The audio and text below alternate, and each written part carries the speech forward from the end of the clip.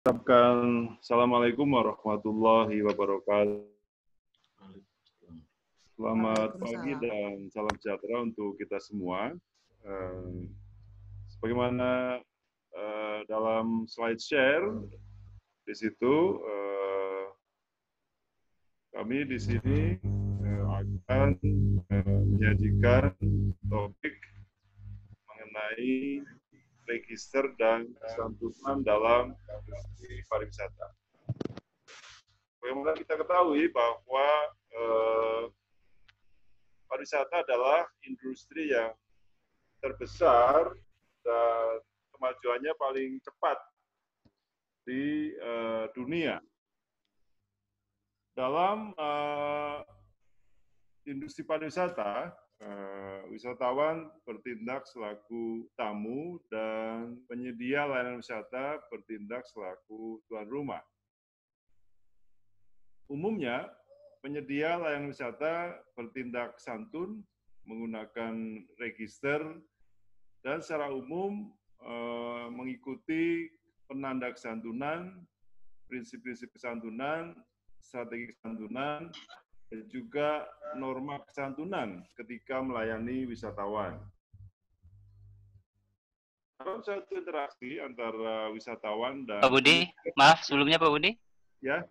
Uh, Pak Budi udah bisa share screen itu? Kalau kalau mau share uh, uh, slide-nya kalau mau. Ya, minta aksesnya ada nggak Pak Hanafi? Udah dikasih Pak. Ah, ya, yeah, one participant can share at a time. Pak, coba Pak Budi uh, klik bisa bisa di share itu. Oke. Ya, sudah? Uh, belum ini? Error itu Pak. Masih error Pak. Coba. Error ya Pak ya? Oke, coba saya cek dulu. Dari... Ah. Ah ya Pak Fadian, Pak uh, Faizal sudah nggak uh, ini.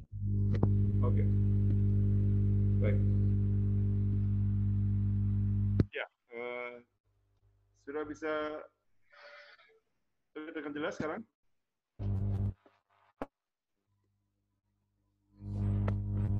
Ada Bu Yunita. Selamat pagi Bu Yunita. Selamat pagi Pak Budi, sukses selalu dan Budian juga. Amin. Ya, sekarang slide share-nya apakah sudah bisa dilihat dengan Sudah, Pak. baik? Sudah, Sudah bisa. kayaknya. Ya. Ah.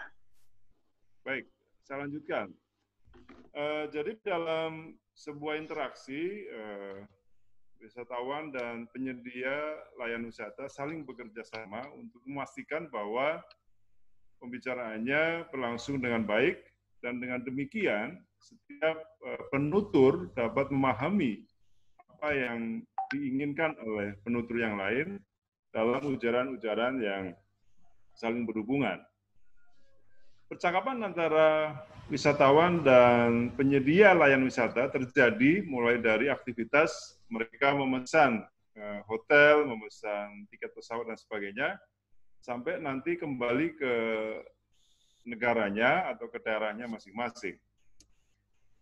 Kita mulai dari register, eh, di mana Halide mendefinisikan register sebagai jenis situasi kebahasaan yang berbeda satu dengan yang lain, yang dalam arti luas meliputi tiga aspek, yakni yang pertama adalah berkaitan dengan eh, tempat, yang kedua adalah dengan eh, bahasa apa yang dipakai, dan yang ketiga adalah berkaitan dengan siapa yang mengambil peran.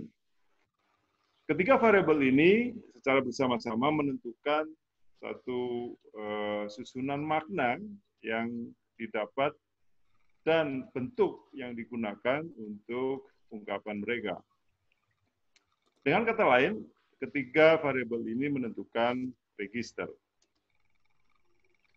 Dalam satu pemesanan kamar misalnya, seorang petugas uh, pemesan kamar di hotel akan menggunakan berbagai register seperti kata available, booking, single room, twin room, double room, dan lain-lain yang merupakan jargon-jargon khusus yang digunakan dalam dunia pemesanan kamar di hotel.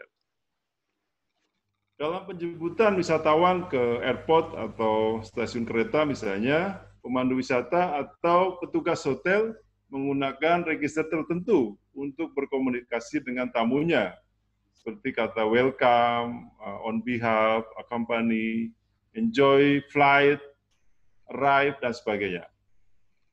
Demikian juga pada saat uh, registrasi di hotel, seorang resepsionis menggunakan register tertentu. Misalnya ada registration card, ada surname, forename, nationality, dan sebagainya yang itu sangat spesifik digunakan dalam dunia perhotelan. Jadi eh, secara teoritis tujuan dari penelitian saya karena ini hasil penelitian adalah untuk menguji penanda kesantunan yang dikemukakan oleh Spencer OT, kemudian prinsip-prinsip kesantunannya Lich, dan juga strategi kesantunan Brown dan Levinson, eh, norma-norma kesantunan Pujo Sudarmo, dan sudut pandang lintas budaya mengenai kesantunan yang dimiliki teorinya oleh Chan. Lebih dari itu, eh, penelitian ini akan mencoba untuk mengungkap faktor-faktor kebahasaan dan di luar kebahasaan yang menyebabkan sukses tidaknya penerapan prinsip-prinsip strategi norma kesantunan dalam register layanan wisata yang menuju pada pengembangan penelitian secara menyeluruh mengenai sosial pragmatik yang banyak eh, dari para linguis menyatakan sebagai cabang ilmu linguistik yang terbaru. Sedangkan secara praktis, hasil penelitian ini bisa digunakan untuk penyedia layanan wisata untuk meningkatkan kualitas pelayanan mereka terhadap wisatawan, khususnya di Jawa Tengah. Hasil penelitian dapat juga digunakan dalam pembelajaran bahasa, peningkatan uh, image industri pariwisata, dan sebagai eh, bahan-bahan untuk pengembangan model peningkatan kualitas layanan bagi wisatawan di sekolah dan kampus-kampus pariwisata. Nah, kita mulai dari penanda kesantunan dari eh, OT di sini ada lima hal meliputi eh, permintaan, penolakan terhadap ajakan, permintaan maaf, berterima kasih, dan juga eh, ketidaksetujuan. Langsung saja pada eh, data di sini, contohnya adalah dalam data pertama, konteksnya adalah percakapan antara pemandu wisata dan wisatawan di Mangkunegaran. Bapak Ibu, kita sudah sampai pintu keluar Istana Mangkunegaran. Demikian yang bisa saya sampaikan. Mudah-mudahan Bapak Ibu berkenan. Bila ada kekurangan dalam memandu Bapak Ibu, saya mohon maaf yang sebesar-besarnya. Terima kasih Mbak Iva, kami semua merasa puas dipandu oleh Mbak. Mbak Iva sangat berpengetahuan luas mengenai istana ini. Terima kasih kembali, itu sudah menjadi tugas saya. Ini untuk Mbak Iva, loh kok repot-repot. Dalam percakapan di atas, pemandu wisata menggunakan ungkapan santun yang diindikasikan dengan bentuk-bentuk ujarannya. Penggunaan ungkapan santun tampak pada ujaran Bapak Ibu, kita sudah sampai ke pintu keluar Istana Mangkunegaran. Bila ada kekurangan dalam memandu Bapak Ibu, saya mohon maaf yang sebesar-besarnya. Dan terima kasih kembali. Ungkapan yang digarisbawahi di atas menggunakan uh, yang digunakan oleh uh, pemandu wisata untuk meminta maaf pada wisatawan jika dia tidak dapat memuaskan mereka selama layanan pemanduan wisata. Penanda kesantunan yang digunakan oleh pemandu wisata di atas, yakni Bapak Ibu, eh, saya mohon maaf dan terima kasih. Di sana menunjukkan uh, ada penggunaan juga kata Bapak uh, untuk menunjukkan rasa hormat terhadap wisatawan laki-laki dan juga ungkapan ibu yang digunakan untuk menunjukkan rasa hormat pada wisatawan perempuan. ujaran saya minta maaf uh, dipilih untuk meminta maaf dan ujaran terima kasih kembali dipilih untuk berterima kasih. Kemudian kami mewawancarai uh, Mbak Iva selaku pemandu wisata, uh, mengapa dia menggunakan ungkapan santun yang diindikasikan dengan penggunaan penanda kesantunan. Penggunaan ungkapan santun terjadi karena pemandu wisata menyadari bahwa situasi pembicaraan bersifat formal, sehingga dia memilih eh, ungkapan-ungkapan uh, itu untuk memberi rasa hormat kepada uh, wisatawan yang dilayaninya sebagai implementasi dari SOP uh, eh, yang digariskan dalam pemanduan wisata. Beda contoh percakapan di bawah ini adalah yang melanggar pemarkah kesantunan. Dalam data dua, konteksnya adalah percakapan antara eh, penjual tiket pengunjung di eh, kawasan Tawangmangu. Untuk berapa orang? Lima orang. 25 ribu. Ini uangnya Pak. Yang pas saja, masih pagi gini belum ada kembaliannya. Nah, dalam percakapan di atas, ungkapan yang digunakan penjual tiket dikategorikan sebagai tidak santun karena tidak adanya penanda kesantunan dalam uh, percakapan yang ada. Dalam percakapan untuk berapa orang, 25 ribu. Masih pagi gini belum ada kembaliannya. Eh, dan di situ tidak ada pemarkah eh, santunan seperti Pak, Bu, Mas, Mbak, selamat pagi, eh, silakan, atau juga yang lainnya, maaf misalnya. Nah, di sini ekspresi verbal yang dikemukakan oleh penutur itu juga tidak didukung oleh eh, penanda kesantunan nonverbal lainnya. Seperti gerakan eh, menunduk atau dari body language misalnya mempersilahkan dan sebagainya dari amatan peneliti tidak ada seperti itu. Maka eh, ungkapan-ungkapan yang digunakan oleh penjual tiket untuk memberi salam dan menawarkan bantuan kepada wisatawan yang datang kepada uh, counter tiket itu seharusnya digunakan oleh uh, penjaga tiket. Mengapa penjaga tiket menggunakan ungkapan yang tidak santun ketika melayani wisatawan dengan indikasi tidak digunakannya penanda kesantunan Penggunaan ungkapan tidak santun terjadi karena situasinya sangat sibuk, di mana eh, tidak memberi kesempatan bagi penjual tiket untuk menggunakan ekspresi kesantun. Dengan banyaknya pengunjung yang mengular di belakang yang sedang dilayani, maka penjual tiket merasa untuk eh, melayaninya dengan cepat. Berikutnya adalah uh, politeness principles yang dikemukakan oleh Rice uh, yang kita ketahui ada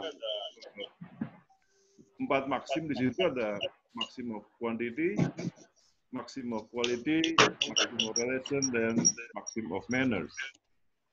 Contoh dari salah satunya adalah sebagai berikut. Dalam tiga, konteksnya adalah percakapan antara pemandu wisata dan wisatawan di Bandara Solo menuju uh, hotel. Ini uh, seorang pemandu wisata uh, di atas bis itu uh, dalam perjalanan dari bandara ke hotel menyatakan demikian. I promise you are going to enjoy your stay here in Solo. This is a beautiful, quiet city where you can relax, enjoy great meals, and feels very safe. You can walk into town and enjoy the cultural city with its ancient and fascinating Kasunanan and Magunagaran palaces, traditional handicraft, batik, and gamelans. Visit Tawangmangu Resort, Sangiran Excavation Site, and famous erotic temples of Suku Encetro. Solo also hosts one of the biggest water park in Central Java region, Pandawa Water World. You can take a short bus or pedicab from the hotel for Solo City Tour. That's a good idea. Dalam uh, ungkapan pemandu wisata di atas, yakni I promise you are going to enjoy your stay here in Solo, nampak bahwa pemandu wisata mencoba untuk meminimalkan uh, biaya bagi petutur, dalam hal ini wisatawan, dan memaksimalkan uh, keuntungan bagi uh, wisatawan atau mitra tutur. Dengan menyajikan bahwa uh, wisatawan dan rombongannya akan menikmati kunjungannya di kota Solo, diharapkan bahwa perjalanan di kota Solo dan sekitarnya akan menyenangkan. Secara umum, salah satu dari kebutuhan dasar dari wisatawan adalah mendapatkan uh, kenyamanan, informatif, dan juga pemandu wisata dari seorang Eh, guide profesional selama perjalanan. Dengan demikian dapat disimpulkan bahwa ungkapan pemandu wisata I promise you you are going to enjoy your stay here in Solo mengikuti uh, tag Masim dari list yakni uh, meminimalkan uh, biaya bagi mitra tutur dan juga uh, benefit bagi mitra tutur. Mengapa pemandu wisata mengikuti Tekmasim Village? Tekmasim diterapkan karena pemandu wisata mencoba untuk mempromosikan kota-kota yang menarik, tempat-tempat yang menarik di kota Solo dan sekitarnya. Tidak seperti di atas, contoh yang lain adalah percakapan dalam konteks antara petugas pemesanan di sebuah hotel dan juga dengan uh, penelpon tamu yang dari luar. Halo, masih ada kamar kosong, Mbak? Wah, sudah penuh semua itu, Pak. Masa satu pun nggak ada yang kosong? Ya, kebetulan semua kamar sudah di-booking, tamu rombongan dari Jakarta. Hotel lain dekat-dekat situ masih punya kamar kosong ya?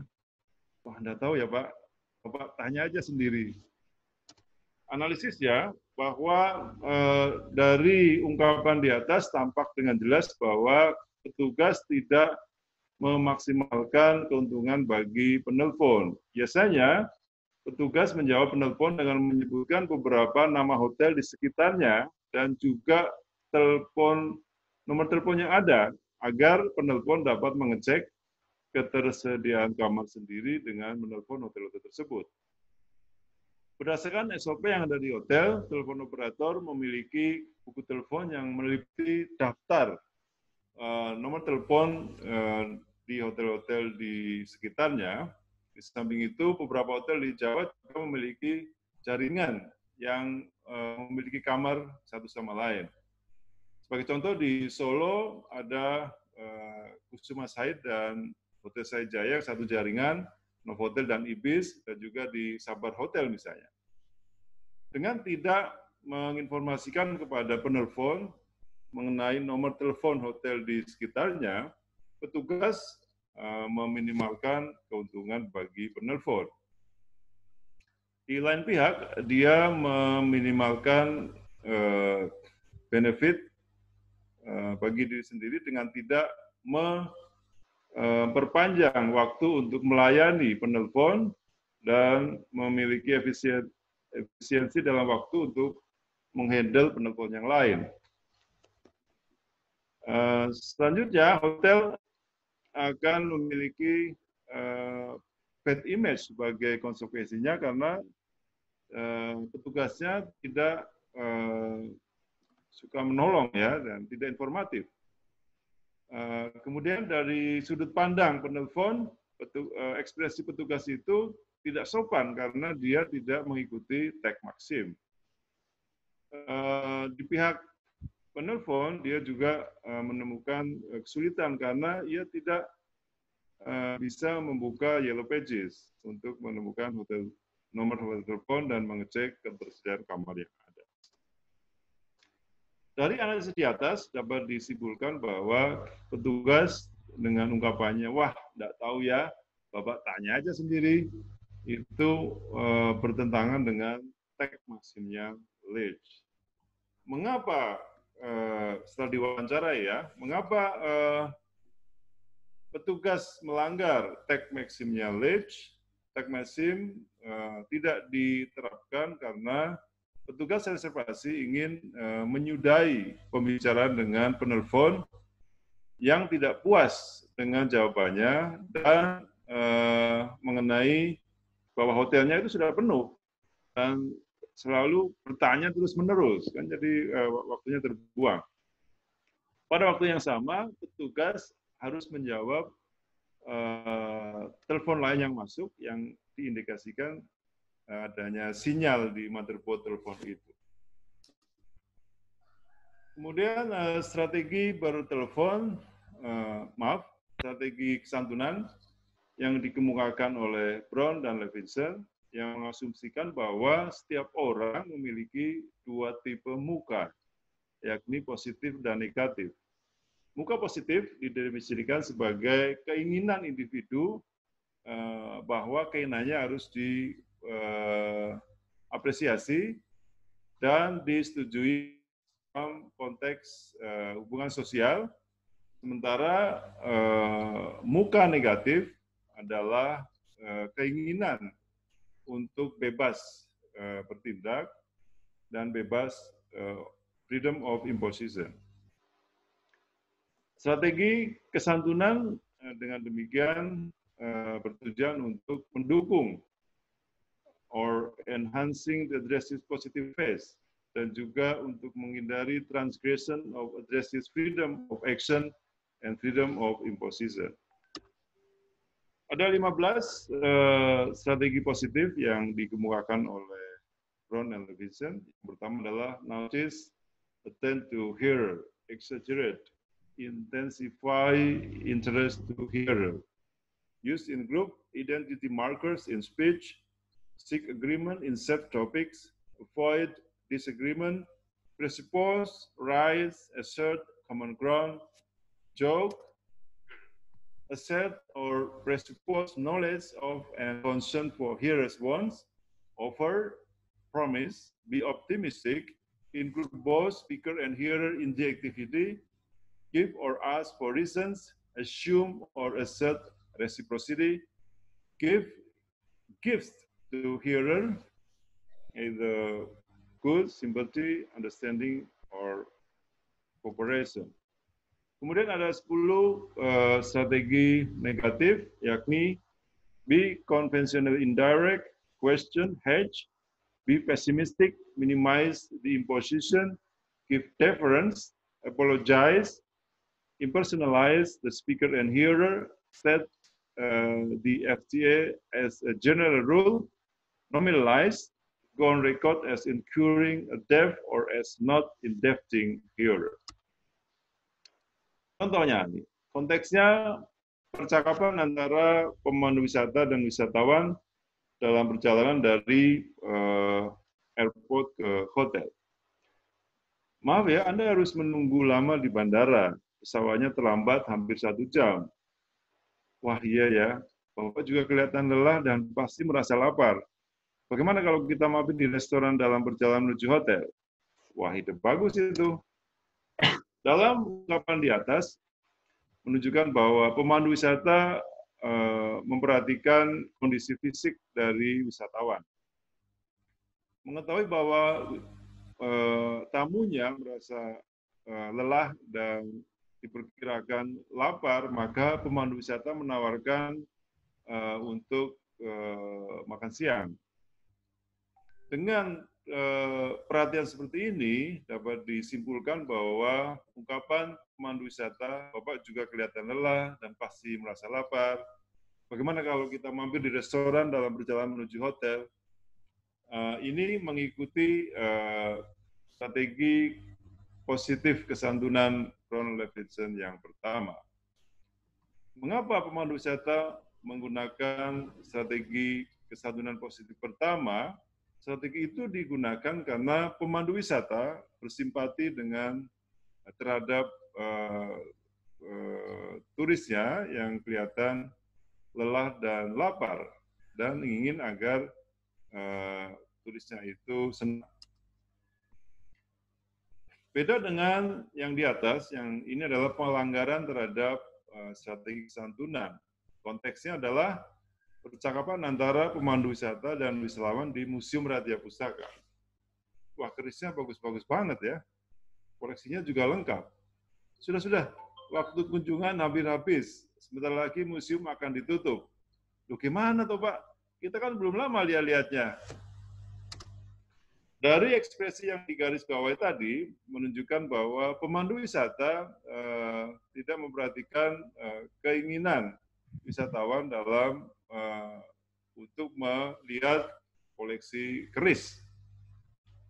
Ia tidak mengizinkan wisatawan untuk melihatnya lebih dari waktu yang ditentukan, tetapi memintanya untuk meninggalkan tempat itu. Oleh karena itu, dapat disimpulkan bahwa ungkapan pemandu wisata, sudah-sudah, waktu kunjungan habis-habis, tak lagi musim akan tutup. Eh, itu tidak mengikuti strategi kesantunan pertama dari Brown and Levinson. Mengapa pemandu wisata tidak mengikuti kesantunan strategi itu? Karena strategi itu eh, dilanggar karena pemandu wisata Eh, sangat strict terhadap waktu yang ditentukan untuk mengunjungi museum sesuai dengan uh, jadwal yang ada di itinerary. Yang berikutnya adalah uh, norma kesantunan uh, atau unggah-ungguh yang dikemukakan oleh Pujo Sudarmo meliputi karena ini dari bahasa Jawa, yang pertama normanya adalah sumanak atau ramah. Kedua, sabar lansare atau uh, sabar dan Eh, dengan hati yang yang, yang kalem ya. Posliro atau menunjukkan rasa simpati atau solidaritas. Andap asor memberikan uh, penghormatan yang tinggi atau apresiasi yang semestinya.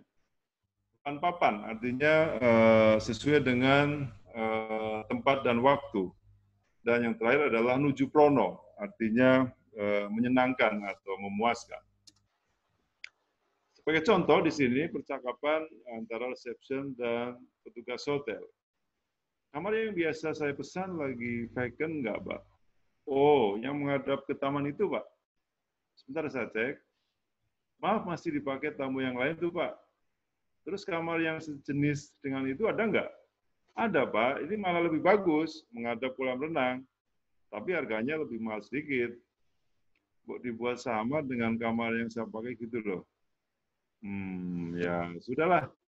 Karena Bapak pelanggan kami, saya berikan harga yang sama dengan kamar yang menghadap taman. Dalam ekspresi di atas, resepsionis mempersilahkan ya, atau memberi kesenangan hati pada tamunya. Meskipun harga semestinya kamar yang menghadap kolam renang lebih mahal daripada yang menghadap taman, dia eh, memberi harga yang sama karena tamunya adalah salah satu dari pelanggan hotel itu. Dengan kata lain, ungkapannya itu dalam bahasa Jawa namanya ngeresepake atau membuat eh, perasaannya senang. Selain itu, isi dari pesannya adalah cekaos, artinya singkat dan eh, menyeluruh. Oleh karena itu, dapat disimpulkan bahwa ungkapan resepsionis, hmm, ya sudahlah, karena Bapak pelanggan kami, saya berikan harga yang sama dengan kamar yang menghadap taman. Itu eh, mengikuti eh, norma Nuju Prono yang dikemukakan oleh Pujo Sudarmo. Mengapa resepsionis menggunakan eh, norma Nuju Prono? Nuju Prono digunakan karena resepsionis mencoba untuk memuaskan tamu dan menjaga loyalitas tamunya sebagai pelanggan hotel. Beda dengan contoh di atas, contoh di bawah ini antara pelaku uh, wisata yang disebut pemandu wisata dan wisatawan di Candi Cedok. Jadi Candi Cedok ini merupakan candi peninggalan Raja Brawijaya keempat, yang merupakan raja terakhir kerajaan Majapahit. Wah, rupanya Bapak sangat menguasai cerita tentang asal usul tadi ini ya. Ya, karena saya kait yang paling senior di sini. Apalagi saya kan keturunan ketujuh dari nenek moyang saya terdahulu yang bertugas memandu tamu-tamu yang datang ke sini. Dalam ungkapan yang digaris bawahi di atas, pemandu wisata tidak uh, berbicara humble kepada wisatawan. Dia bertindak umum atau uh, sombong dengan mengatakan dengan bangganya bahwa dia adalah uh, pemandu wisata senior di area candi itu. Di samping itu, dia juga menggunggung diri atau apa namanya mengulkan diri sendiri dengan ungkapannya bahwa dia adalah uh, keturunan ketujuh dari pemandu wisata yang melayani uh, wisatawan di area itu. Oleh karena itu, dapat disimpulkan bahwa uh, ungkapan pemandu wisata ya karena saya guide yang paling senior di sini, apalagi saya tugas pemandu tamu-tamu yang datang ke sini itu adalah melanggar uh, norma uh, kesantunan adab asor yang dikemukakan oleh Pujo Sudarmo. Mengapa pemandu wisata melanggar adab asor? Adab asor dilanggar karena pemandu wisata bahwa dia adalah orang yang pas untuk memandu wisatawan selama berkunjung di candi itu. Ah, Pak Budi. Yes. Another five minutes, Pak. Ya, oke, uh, ya. Sorry. Saya uh, percepat bahwa uh, untuk level kesantunan saya bagi menjadi uh, santun, normal, dan uh, tidak santun. Dalam suatu percakapan di sini uh, uh, antara petugas dan uh, kemudian wisatawan juga uh, ada persentase-persentase dari jawaban yang dikemukakan oleh uh, wisatawan baik lokal maupun asing dalam kuesioner yang dibagikan. Seperti itu, menyatakan ada yang santun, normal, dan tidak santun. Kemudian yang terakhir adalah uh, sudut pandang uh, lintas budaya mengenai kesantunan. Jadi ada dua tabel di sebelah kiri adalah yang uh, high contact, ya. kemudian yang sebelah kanan adalah yang low context ada indirect, direct sampai dengan self-effecting mode sampai dengan self-promoting egocentric. Ya, uh, sebagaimana itu contoh di sini adalah uh, pada saat uh, tamu mau check out ada pernyataan what is your name? Ya, kalau dalam orang asing di situ menyatakan bahwa itu tetap santun begitu. Tapi kalau orang lokal Indonesia, siapa nama Anda? Itu tidak santun. Mestinya adalah dengan indirect misalnya, maaf saya lupa atas nama ibu siapa ya, pada saat check out ditanya namanya, maka itu baru namanya santun. Jadi uh, beda di sini antara pernyataan what is your name pada saat uh, hotel check out dan siapa nama Anda, orang Barat dan orang Indonesia itu uh, beda persepsi. Demikian dari saya, nanti uh, bisa dilanjutkan uh, ke Budian Eh, terima kasih. Waktu saya kembalikan ke Pak Hanafi. Assalamualaikum warahmatullahi wabarakatuh. Waalaikumsalam warahmatullahi wabarakatuh. Uh, terima kasih banyak Pak Budi. Uh, presentasinya banyak ini yang mau mau di-share. Gak cukup waktu 20. Sebenarnya saya maunya satu-satu ini. Satu untuk Pak Budi sesinya, satu untuk Budian. Tapi nggak apa-apa lah. Nah sekarang kita apa kita minta Budian untuk melakukan uh, presentasinya. Silakan Budian, waktu dan tempat dipersilahkan. Ya, terima kasih Pak Hanafi. Saya akan men-share uh, eh, PPT saya sebentar. Apakah sudah terlihat? Sudah terlihat ya Pak PPT saya? Belum, belum Bu. Ya. Belum. Sebentar. Atau saya share aja kalau sulit. Uh, sebentar Pak, saya akan coba masukkan sebentar.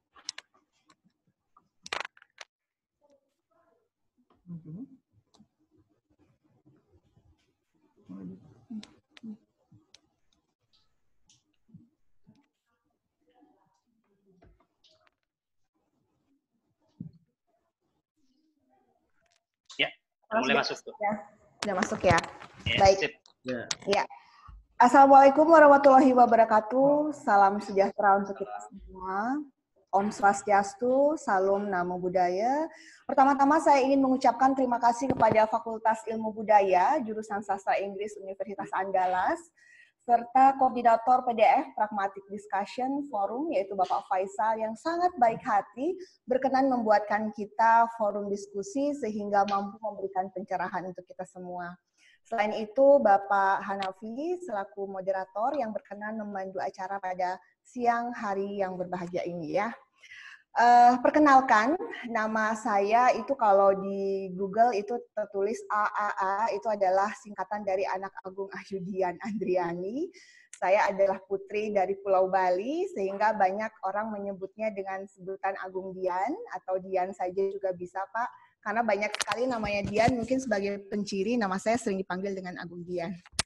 Baik, setelah dua sesi webinar dan pemaparan dari Bapak Budi tadi, kita sudah diberikan pencerahan terkait apa itu pragmatik, kemudian kajian serta perkembangan dari ilmu pragmatik. Sehingga pada kesempatan hari ini saya mengajak Bapak dan Ibu semua untuk pergi ke Pulau Bali mengkaji tentang kesantunan industri pariwisata, khususnya dalam cross culture, politeness dalam industri pariwisata.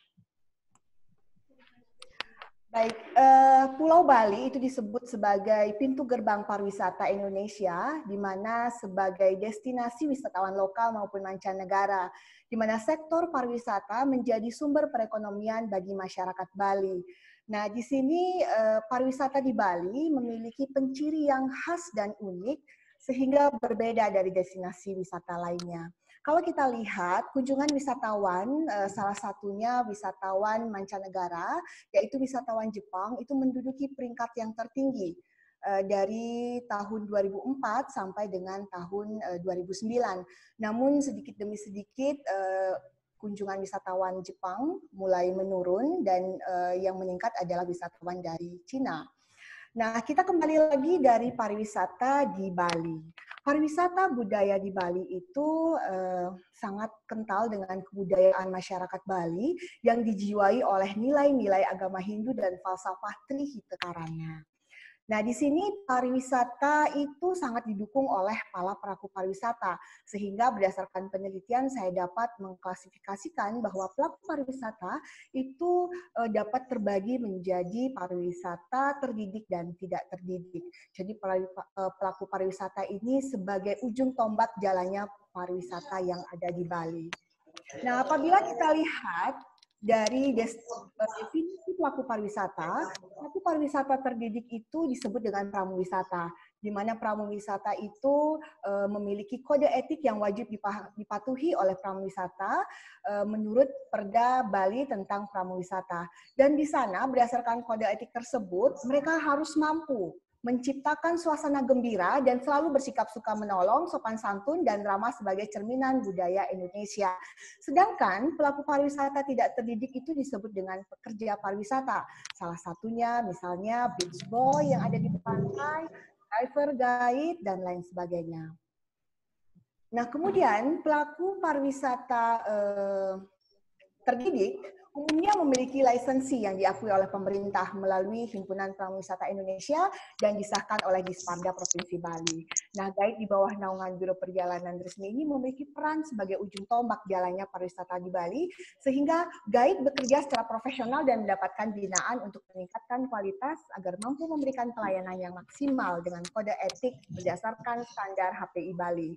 Sedangkan pelaku pariwisata tidak terdidik berdasarkan uh, hasil wawancara saya ketika saya melakukan penelitian, mereka itu bekerja dengan uh, kemampuannya menggunakan komunikasi bahasa Jepang apa adanya, di mana sistem belajar mereka itu dilakukan secara otodidak maupun melalui kursus-kursus, sehingga mereka tidak mampu menggunakan bahasa Jepang itu secara maksimal. Prawisata terdidik itu yang perlu uh, dijadikan sebagai acuan utama, mereka harus paham apa itu falsafah dari pariwisata budaya yang ada di Bali, yaitu tentang Trihitekarana dan hospitality. Baik, saya yakin Bapak Ibu semuanya masih penasaran tentang apa itu Trihita Karana? Trihita Karana itu adalah salah satu bentuk kearifan lokal dalam mengembangkan pariwisata budaya, bijak dan berkonsekuen pada ajaran agama Hindu, yaitu Trihita Karana. Di mana Trihita Karana itu falsafah hidup masyarakat Bali yang memuat tiga unsur yang membangun keseimbangan dan keharmonisan dengan Tuhan, sesama manusia, serta alam lingkungan sekitar yang menjadi sumber kesejahteraan, kedamaian, dan kebahagiaan bagi kehidupan manusia. Nah, di sini implementasi dari omo, eh, dari hospitality kalau dalam bahasa Jepang itu disebut dengan omotenasi. Di sini salah satu bentuk omotenasi Jepang adalah penerapan dari ragam hormat di mana penggunaan ragam hormat adalah salah satu strategi berkomunikasi untuk meningkatkan derajat tamu dan menunjukkan bahwa tamu kalau dalam bahasa Jepang, oke okay, kusamawa, kami sama. Artinya, itu sama dengan dewa atau Tuhan ya. Nah, di sini konsep Kemudian, ya, maaf, maaf, maaf Budian ya, saya mute dulu yang lain. Ya. Eh, Oke, mute all. Nah, kemudian silahkan unmute lagi.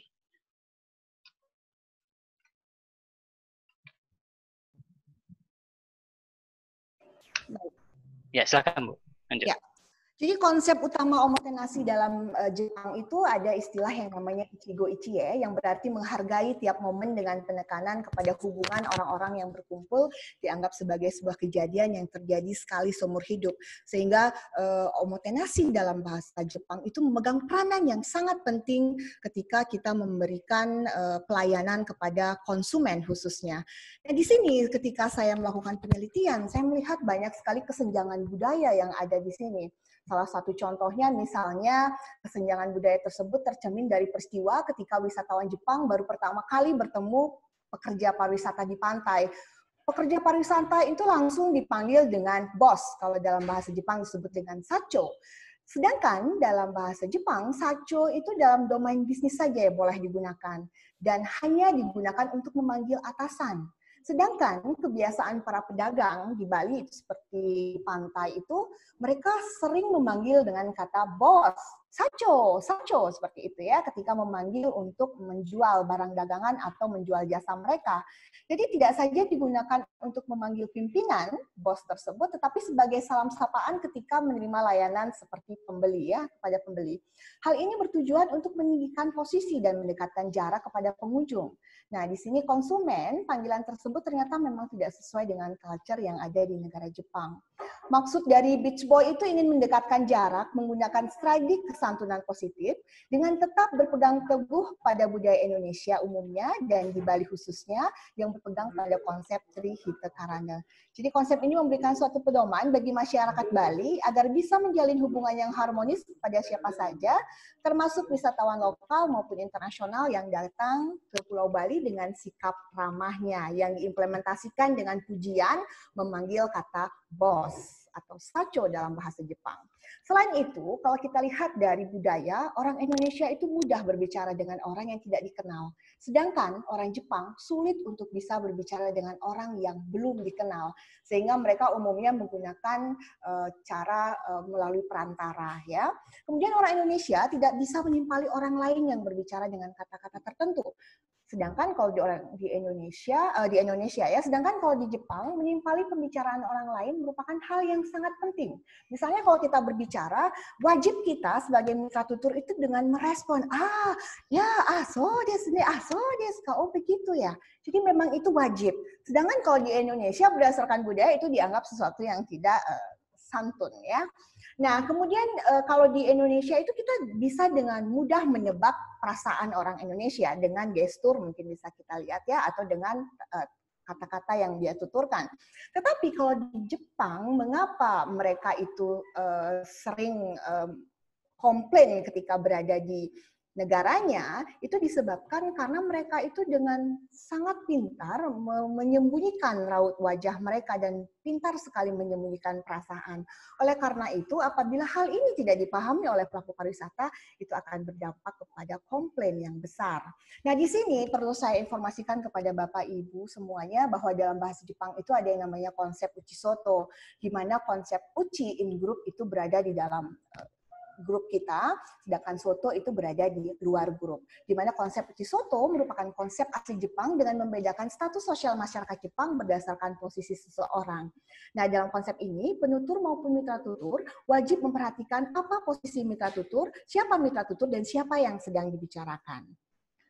Kemudian setelah itu di sini ada juga uh, ada penelitian dari Yu dan Ellen di sini membahas tentang superior dan inferior di mana uh, konsep tersebut memiliki dampak yang besar bagi masyarakat Jepang untuk mempertimbangkan cara berbicara dan bersikap kepada mitra tutur. Nah, keunikan dalam bahasa Jepang itu ada wakimai, di mana ada kesadaran akan kedudukan dan hubungan sosial uh, dari masyarakatnya. Nah, bagaimana cara berkomunikasi yang benar menurut takaran dalam eh, budaya? Di sini ditentukan oleh budaya dan budaya menentukan bagaimana cara anggota masyarakat budaya berkomunikasi atau bertutur. Bahasa dan budaya memiliki hubungan yang sangat erat dan tidak dapat dipisahkan serta saling mempengaruhi satu sama lainnya karena budaya mempengaruhi cara orang untuk berkomunikasi. Kalau menurut uh, pendapat Watts dan uh, ide di sini bahwa kesantunan identik dengan konsep moral dalam berinteraksi yang dijadikan sebagai kebiasaan, adat, dan tata cara dalam kehidupan masyarakat, sehingga pengaruh sosial budaya dalam kelompok pengikutnya mengakibatkan adat ataupun tata cara berbeda setiap kelompok masyarakatnya. Nah, kita beralih pada konsep kesantunan. Konsep kesantunan uh, Jepang di sini uh, kalau kita lihat konsep kesantunan berbahasa itu terdapat dalam bahasa-bahasa di dunia. Kesantunan berbahasa tidak dapat terlepas dari penanda tingkat tutur kalau dalam bahasa Jepang. Karena dalam bahasa Jepang, seorang penutur dikatakan santun apabila menggunakan penanda tingkat tutur yang tepat sesuai dengan konteks situasinya. Kesantunan sebagai wujud penghormatan seseorang kepada pihak kedua maupun ketiga yang terjadi dalam peristiwa tutur. Penghormatan dan kesantunan adalah dua fenomena yang berbeda, tetapi memiliki keterikatan yang cukup dalam untuk mengungkapkan penutur dalam menggunakan bentuk honorific. Nah, definisi kesantunan kalau kita ketahui bersama itu adalah santun yang artinya halus, baik budi bahasanya. Jadi kesantunan itu sebagai konsep yang tegas dalam bertingkah laku sosial. Kita lihat dalam kesantunan Jepang. Kalau kita lihat berdasarkan definisinya, politeness itu adalah sikap perilaku yang mendasar atau prinsip dalam hubungan antarpersonal merupakan suatu alat atau cara untuk menyampaikan dekat atau jauhnya jarak antara diri sendiri dengan mitra tutur. Kemudian kalau kesantunan dalam kajian pragmatik yang telah disampaikan oleh ide bahwa konsep berkomunikasi terfokus terhadap orang lain untuk dapat menjalin hubungan antar manusia terhadap penggunaan bahasa agar menciptakan hubungan komunikasi dengan lancar aturan dalam bertutur dan bertingkah laku dalam menjalin hubungan yang harmonis untuk menghindari suatu konflik. Setiap negara merealisasikan bentuk yang berbeda-beda sesuai dengan karakternya. Kesantunan dalam suatu interaksi itu adalah alat yang digunakan untuk menunjukkan kesadaran tentang muka orang lain karena muka merupakan wujud pribadi seseorang.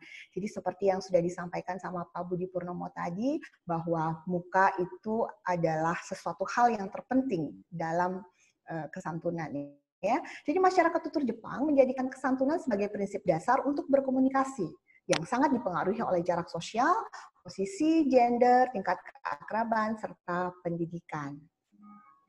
Kemudian eh, selanjutnya dalam kesantunan Jepang itu memiliki konsep dikatakan santun apabila setiap tuturannya ditandai dengan penerapan sistem honorific, yaitu ragam hormat atau dalam bahasa Jepang disebut dengan keigo. Selain itu, ide menyampaikan bahwa bersikap santun terhadap orang yang memiliki kedudukan sosial lebih tinggi itu eh, di mana bersikap santun terhadap orang yang memiliki kuasa, yang memiliki usia lebih tua dan eh, dalam situasi formal.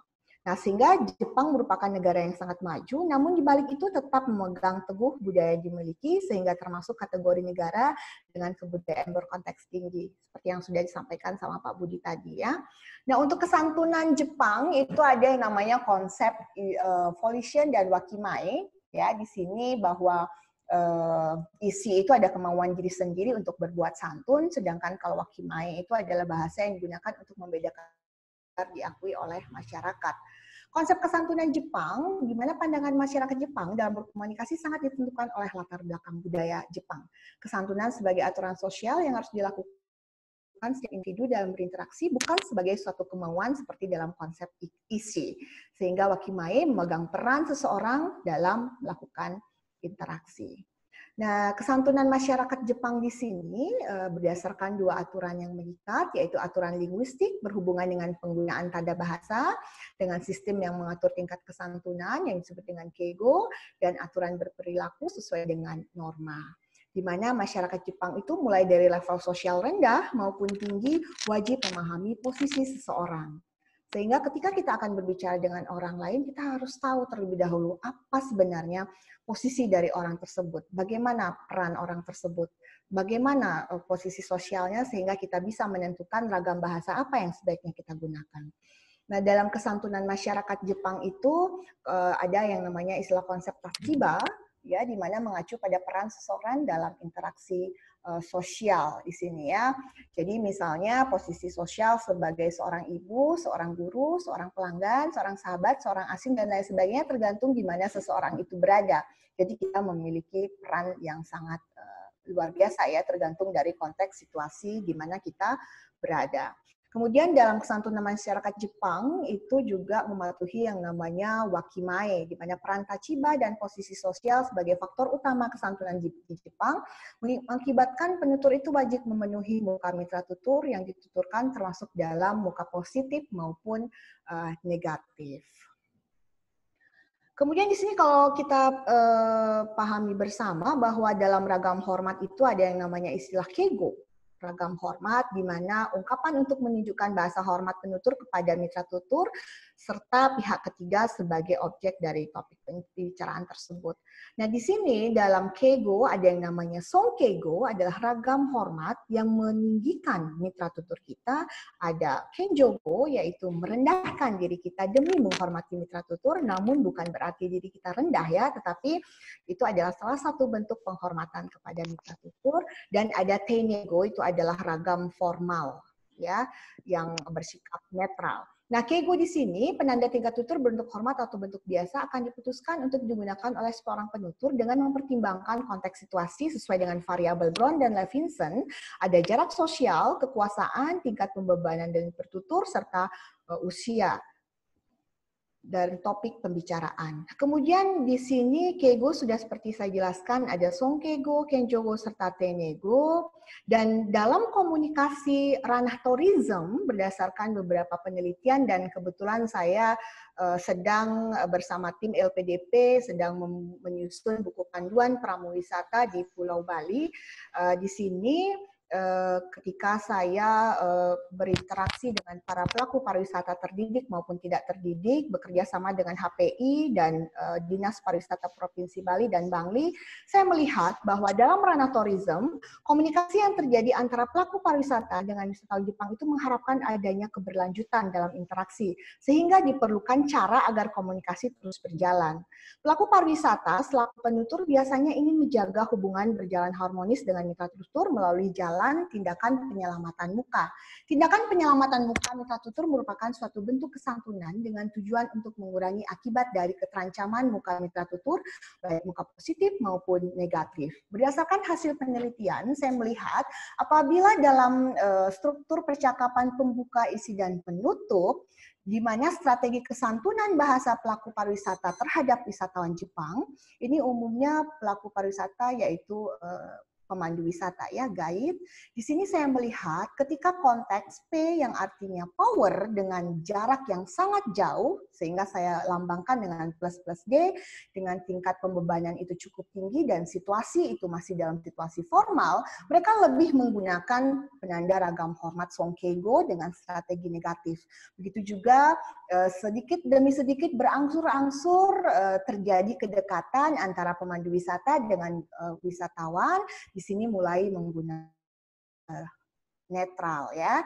Nah, di sini saya melihat bahwa pelaku pariwisata tidak melulu harus menggunakan ragam hormat songkego saja, tetapi seiring dengan proses komunikasi lambat laun berubah menjadi tene atau bahkan menggunakan bahasa tidak mengandung unsur penghormatan yang ditentukan oleh konteks situasi dan tingkat pembebanan dalam berbicara. Di sini saya menemukan adanya suatu gradasi penanda tingkat tutur bahasa Jepang yang sangat terikat oleh konteks, di mana penanda tingkat tutur dalam bahasa Jepang itu mengalami gradasi dari bentuk over tenego menjadi bentuk songkego atau kenjogo dan berdasarkan proses komunikasi dimungkinkan akan berubah menjadi penanda bentuk tenego. Kemudian di sini saya juga menemukan uh, konsep gradasi penanda seperti yang sudah saya sampaikan tadi bahwa uh, ketika jarak itu sudah uh, mulai berangsur-angsur mendekat di sini ada penanda plus D dengan situasi masih tetap formal, kemudian ada juga di mana jaraknya itu sudah mulai eh, bergeser menjadi minde dengan situasi non formal. Di sini saya temukan ada penggunaan bahasa yang tidak mengandung unsur penghormatan. Sekali lagi ini sangat ditentukan oleh variabel sosial di mana ada power, distance, tingkat imposition dan uh, situasi. Nah, kemudian di sini saya lihat konsep gradasi juga berdasarkan struktur percakapan, di mana di pembuka itu uh, pelaku pariwisata identik menggunakan strategi kesantunan negatif karena jarak sosial mereka masih sangat jauh. Mereka takut kalau misalnya uh, wisatawan itu merasa tersinggung sehingga masih ada strategi-strategi negatif yang memang uh, sebagai acuan utama bahwa tamu masih tetap memegang posisi yang tinggi dibandingkan kita sebagai penjual jasa. Nah, ketika masuk dalam isi di sini strategi kesantunan mulai kembali digunakan tidak saja satu, malah bahkan empat ya di sini. Dan kemudian pada penutup kembali lagi bagaimana men, men, apa bagaimana seorang pelaku pariwisata itu memberikan kesan akhir yang baik sehingga strategi-strategi yang mereka gunakan lebih memilih strategi uh, positif atau bolt on di sini ya. Nah, kemudian ke dalam uh, simpulan yang ingin saya sampaikan bahwa uh, kesantunan dalam domain pariwisata erat kaitannya dengan hospitality. Sehingga santun dalam ranah tourism sangat terikat dengan konteks sebagai bahasa layanan. Jadi kita mengkolaborasikan antara hospitality uh, dengan bagaimana kita harus bersikap santun dengan menentukan konteks dengan tetap Eh, peran dari wisatawan itu adalah konsumen kita sebagai power. Nah, strategi kesantunan berbahasa tidak dapat dipisahkan dengan penanda tingkat tutur dalam bahasa Jepang, karena bahasa Jepang merupakan bahasa yang menang speech level atau tingkat tutur bahasa, terutama dalam ranah bisnis. Salah satunya adalah domain pariwisata. Selain itu, adanya berbagai jenis penanda tingkat tutur dan penerapan strategi kesantunan oleh karenanya memungkinkan dalam satu tuturan bahasa Jepang mengandung lebih dari strategi kesantunan berbahasa yang dominan digunakan dalam berkomunikasi. Dan simpulan terakhir, adalah dalam ranah tourism tidak melulu pramu wisata terdidik maupun tidak terdidik menggunakan ragam hormat. Ditentukan oleh konteks situasi, variabel sosial, ditunjang oleh situasi percakapan apakah pada pendahuluan, isi maupun penutup. Karena saya melihat ketika satu beach boy itu uh, sedang menghandle wisatawan Jepang yang sedang bermain surfing, nah kemudian orang Jepang Eh, karena tidak terbiasa dengan surfing mungkin karena pemula dia di sana uh, bilang kalau dirinya tenggelam gitu ya. Nah otomatis di sini si beach boy si pekerja pariwisata ini tidak akan menggunakan ragam uh, hormat karena itu situasinya benar-benar uh, membutuhkan bantuan yang urgent gitu ya. Nah, jadi hal-hal seperti itu yang wajib kita pahami sebelum kita menyatakan santun atau tidak santunnya tuturan dari pelaku atau pariwisata. Nah, kesantunan dalam domain pariwisata itu erat hubungannya dengan hospitality, yaitu bahasa layanan, tidak melulu harus menggunakan ragam hormat, tetapi ditentukan oleh konteks situasi dan proses berkomunikasi antara peserta tutur. Nah, di sini mengalami gradasi penanda tingkat tutur serta pergeseran strategi kesantunan berbahasa harus ditentukan oleh variabel sosial berdasarkan Brown-Levinson. Baik, eh, demikian tadi eh, pemaparan dari saya. Eh, semoga bisa bermanfaat dan jika ada saran mungkin atau ingin sharing, dipersilahkan. Dan saya akan tutup dengan pantun. Pagi-pagi sudah sarapan nasi, kudapannya mangga yang baru dipetik. Bapak dan Ibu, terima kasih sudah berpartisipasi. Mari sama-sama kita kembangkan kajian pragmatik. Wassalamualaikum warahmatullahi wabarakatuh. Ya. Om Santi. Terima kasih. Ya, terima kasih Bu Dr. Agung Dian atas presentasinya. Eh, Pak Hanafi ada sesuatu dengan laptopnya, jadi saya disuruh menghandle. Ya, jadi eh, eh, Bapak Ibu semua kita masuk pada sesi tanya jawab. Ya, Eh, ada pertanyaan ditujukan untuk eh, Pak eh, Pak Budi, Pak Budi. Saya bacakan ya. Untuk Pak Budi, Pak Budi hadir nih. Pak Budi, halo. Jadi untuk Pak Budi, pemandu pariwisata terutama di Solo lebih banyak menggunakan strategi kesantunan positif atau negatif. Mengapa? Eh, kemudian kemudian bisakah suatu peristiwa ketidaksantunan dianalisis dengan menggunakan model Brown dan Levinson, Leach dan Supomo secara simultan? Bagaimana caranya? Mohon penjelasan. Eh, Pak Budi hadir? Ya, siap. Eh, terima kasih. Pertanyaan dari Pak eh, Ron Surono. Pak begitu. Surono ya.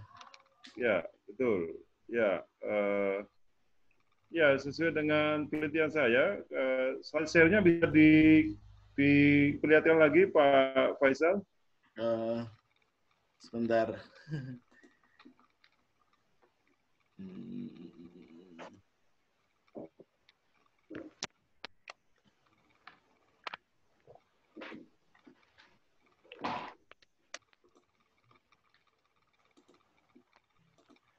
Eh, kalau Sebentar. sambil menunggu, ya eh, Pak Ron Surono, terima kasih. Jadi eh, yang paling banyak digunakan di sini adalah untuk strategi eh, kesantunan dari Ron Levinson adalah eh, be conventionally indirect, ya. Eh, kemudian yang paling sedikit digunakan adalah go on record as incurring a debt or as not indebting here. Sedangkan strategi negatif yang paling banyak dilanggar adalah go on record as incurring a debt or as not indebting here. Sedangkan yang paling jarang dilanggar adalah be conventionally indirect. Iya Pak, benar bahwa satu peristiwa tutur ketidaksantunan eh, bisa dianalisis eh, dengan eh, ketiga teori sekaligus Pak. Jadi eh, misalnya tadi percakapan yang eh, di ya eh, di ini Pak eh, yang mengenai eh, di Tawangmangu itu Pak. Tawang Mangu, Tawang Mangu Ya, ya. Betul. Ya itu ya. Apa itu? Ya. Ini nih nih. Ya, itu Bagi Bapak Ibu ya. Lima orang, 20 dan seterusnya. Eh, kalau eh, Brown and Levinson ini tentu saja eh, eh, sangat-sangat bold ya. Jadi tanpa menggunakan difference, tanpa menggunakan eh, apa namanya sebutan bapak, ibu dan sebagainya. Ini nampak sekali di sana. Eh, stop masih di situ. Eh, kemudian untuk Leach eh, juga seperti itu ya Eh, itu lebih ke menguntungkan benefit bagi eh, penjual tiket sendiri karena ingin cepat-cepat seperti itu tapi eh, cost-nya bagi eh, wisatawan karena diburu-buru jadi tidak nyaman seperti itu kemudian kalau eh, dari sisi Supomo mengenai norma kesantunan eh, tentu saja eh, di sini eh, tidak ada apresiasi, tidak ada respect eh, terhadap wisatawan. Tiba-tiba untuk berapa orang? 25 ribu. Nah, emangnya dengan siapa? Kan itu wisatawan juga ada sebutannya, ada ada Mas, Mbak, Pak itu sama sekali tidak menggunakan toto kromo atau unggah ungguh. Demikian Pak Ron Surono. Terima kasih atas pertanyaannya. Ya. Nah, Uh, mengenai kembalikan yang pertama topik, tadi sudah belum Pak ya? Yang di Solo lebih banyak positif atau negatif, terus kenapa katanya? Udah tadi ya? Ya sudah, itu sudah lebih Pak. banyak yang sudah saya jelaskan juga strategi yang paling banyak digunakan dan yang paling sedikit. Oh, oke. Ya. Oke, demikian pertanyaan dari Bapak Surono tadi. Eh, saya lihat di chat eh, hanya hanya itu pertanyaannya. Oh, ada lagi. Ada lagi dari Yunisa Amaida. Saya ingin bertanya pada Bapak Budi dalam PPT Bapak tadi bahwa pemandu pariwisata Candi Cetro tidak sopan karena terkesan umuk. Saya baca dalam jurnal bahwa umuk suka pamer adalah saya baca ba- bahwa umuk suka pamer adalah identitas orang Solo dan gemblok atau suka merayu adalah identitas orang Jogja. Apakah hal tersebut bisa dikategorikan dalam tindak tutur ketidaksopanan? Atau malah umuk itu adalah suatu kesopanan versi budaya masyarakat Solo yang mana juga dipengaruhi suatu budaya masyarakat tersebut. Terima kasih banyak.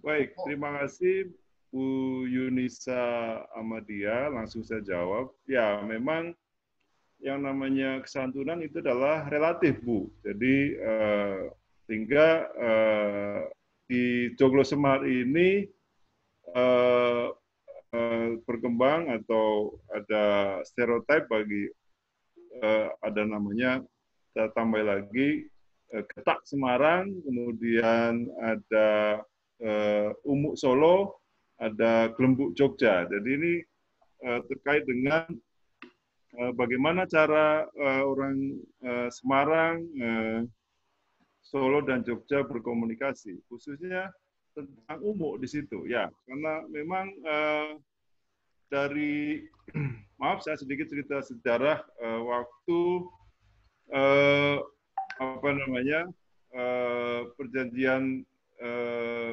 Kianti telah ada itu, kemudian eh, eh, di situlah ada Paku Buwono dan Mangku Bumi di Jogja menghadiahi sebuah eh, apa namanya pakaian begitu yang yang diambil oleh Paku Buwono itu adalah yang pakaian yang eh, betul-betul sudah eh, modifikasi begitu. Sehingga eh, Mangku Bumi eh, di Jogja oh baik kalau gitu eh, Jogja menganut tradisional mempertahankan tradisi kemudian Solo ke inovasi jadi mulai dari pakaiannya dengan eh, omongannya juga karena di Solo itu eh, zaman dulu itu bersanding dengan Belanda di situ. Jadi eh, bagaimana umuk ya, umuk itu kemudian di Jogja Gelembuk juga bagaimana Gelembuk supaya tujuannya tercapai seperti itu. Jadi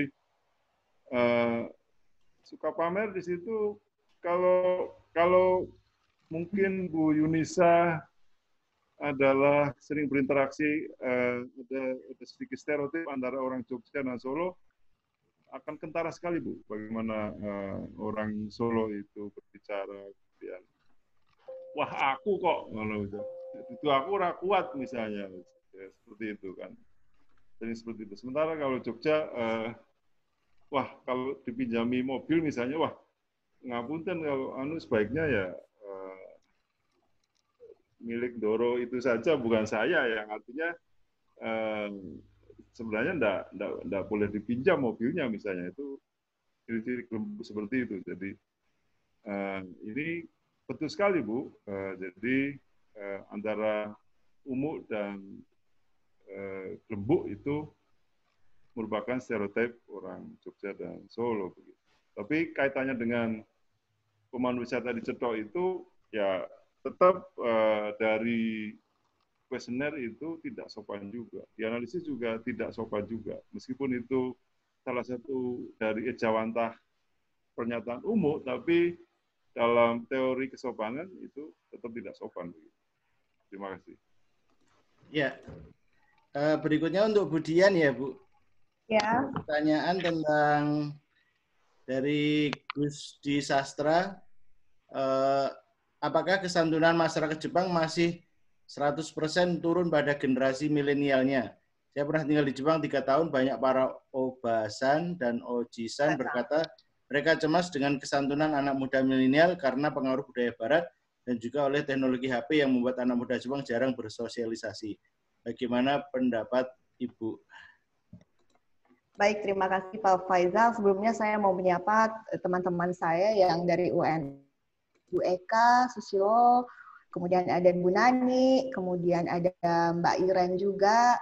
Selamat bergabung di sini. Dan terima kasih juga dengan Pak Gusti Sastra ya, Gusti Sastra, Gusti Sastra, konnichiwa, ogenki desu ka?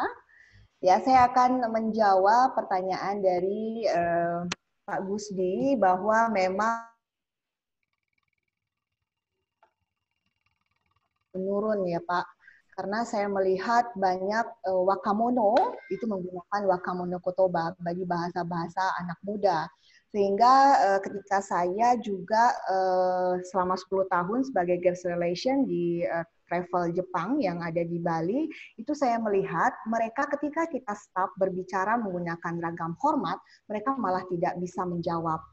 Nah, di sini saya melihat bahwa eh, satu sisi mereka itu sudah eh, istilahnya sudah tidak memahami dengan baik apa itu sebenarnya peran dari penanda tingkat tutur hormat ketika berkomunikasi. Namun di satu sisi saya sebagai staff itu wajib menggunakan ragam itu karena menghormati konsumen. Nah di sini eh, kita ketahui bersama Pak eh, Wakamono di sana orang-orang muda di Jepang itu mereka tidak mendapatkan pelajaran tentang kego seperti dalam kita kalau dalam bahasa Indonesia kan kita sudah diajarkan ya bagaimana kita bersikap dan lain sebagainya. Namun kalau di Jepang itu ragam hormat itu memang tidak diajarkan di bangku SD, SMP maupun SMA. Jadi mereka itu belajar secara alami bagaimana penggunaan ragam hormat tersebut. Dan seperti yang kita ketahui bersama, ketika seseorang akan masuk dalam dunia kerja, itu mereka akan mendapatkan pelatihan, Pak. Jadi di sana mereka mulai kembali lagi menggunakan penanda-penanda sesuai dengan uh, dalam ranah bisnis yang ada di Jepang. Karena kalau dalam ranah bisnis di Jepang itu eh, kesantunan itu wajib dengan menggunakan penanda ragam hormat. Jadi begitu Pak. Kalau di eh, Jepang memang saya akui mereka itu memang eh, tidak tidak menggunakan ragam-ragam hormat seperti itu. Tapi bukan berarti mereka tidak santun ya, tapi itu adalah suatu pergeseran dari kesantunan yang terjadi di Jepang. Demikian Pak. Jadi tinggal selama tiga tahun ya Pak Gusti Sang ya Oke, Otskari sama Desta. Ya. Terima kasih. Arigato gozaimasu, Budian. Baik. Oke, uh, berikutnya dari Muhammad Bapak Muhammad Hashim for everyone mungkin untuk Budian juga Pak Budi. Ya. Saya bekerja 10 tahun sebagai guide bahasa Prancis di Sulawesi Selatan dan dosen bahasa Prancis di pariwisata di Unhas. Pengalaman saya sebagai guide, komunikasi bahasa yang paling utama dari bahasa kesantunan adalah keakraban. Jadi bagaimana dalam berkomunikasi menimbulkan keakraban khususnya antara guide dan turis. Apalagi guide menemani turis selama beberapa hari. Dalam bahasa Perancis, penuturnya lebih menyukai bahasa keakraban daripada bahasa kesantunan. Bahasa kesantunan menimbulkan jarak komunikasi. Mungkin Pak Budi atau Budian dulu silahkan. Ya, ya, baik. Terima kasih untuk Pak Muhammad Hasim Benar sekali Pak, uh, memang uh, bahasa keakraban itu yang paling dipilih. Tapi setidaknya uh, itu uh, ada proses Pak. Jadi pada awalnya tentu karena kesantunan dipengaruhi oleh tiga hal. Yang pertama adalah relative power, jadi hubungan antara uh, uh, wisatawan dan uh, pemandu wisatanya. Kalau memang di situ eh, terhadap wisatawan yang lebih tua, kemudian yang eh, sebaya dan anak-anak itu juga beda, Pak. Cara memerintah misalnya, cara eh, meminta bantuan itu juga beda. Kemudian juga yang kedua adalah intimasi. Sudah akrab atau belum? Kalau semakin akrab antara wisatawan dan pelaku wisata, tentu saja kesantunan akan berangsur-angsur hilang. Seperti itu. Kemudian yang berikutnya adalah eh, ada motif untuk uh, menghasil, menghasilkan financial benefit ya misalnya tip minded begitu nah, itu juga akan uh, begitu santunya begitu melayani dengan dengan bahkan dilebih-lebihkan supaya nanti ada unsur uh, akan memberikan uh, tip atau uh, apa namanya benefit yang lebih seperti itu. Tapi memang uh, khususnya untuk pelaku wisata, pemandu wisata, memang yang paling banyak disukai adalah uh, keakraban itu, Pak. Bahasanya dilebih-lebihkan ya dengan joke, dengan sebagainya. Banyak omong itu malah yang paling banyak disukai oleh uh, wisatawan. Semakin banyak informasi yang didapat oleh wisatawan dari uh, pemandu wisata itu semakin disenangi seperti itu. Terima kasih. Ya. Dari Budian, monggo Bu memberi tanggapan. Pak. Ya, terima kasih. Uh, saya sependapat dengan pandangan dari Pak Budi tadi, seperti yang kita ketahui bersama bahwa kode etik dari uh, guide itu adalah mampu atau menciptakan suasana gembira. Ya di situ Pak ya, salah satunya kode etik dari pramu wisata. Nah, di sini eh, seperti yang sudah saya sampaikan bahwa ketika kita berbicara itu tidak langsung kita menggunakan bahasa akrab dong Pak ya. Jadi kita harus melihat dulu terlebih dahulu apa peran kita sebagai pelaku pariwisata. Di sanalah kita harus bisa awalnya menjaga jarak terlebih dahulu karena salah satu peran kita sebagai penjual jasa layanan itu harus mampu uh, memberikan suatu penghormatan ya jadi penanda bahasa kalau dalam bahasa Jepang itu menggunakan ragam bahasa hormat songkego di situ. Nah seiring dengan proses berkomunikasi lambat laun lambat laun uh, lambat begitu misalnya kan guide itu uh, biasanya menghandle tamu 3 sampai lima hari kalau untuk tour ya. Nah, di sana seiring dengan proses komunikasi, kita juga melihat konteksnya, usia dari penuturnya itu, kita mengalami sebuah gradasi strategi, gradasi penanda tingkat tutur kesantunan. Jadi biasanya eh, kalau pelaku pariwisata di di sini itu lebih banyak menggunakan penggunaan bahasa yang masih tetap berada di tengah-tengah, posisinya tidak terlalu meninggikan dan tidak terlalu merendahkan.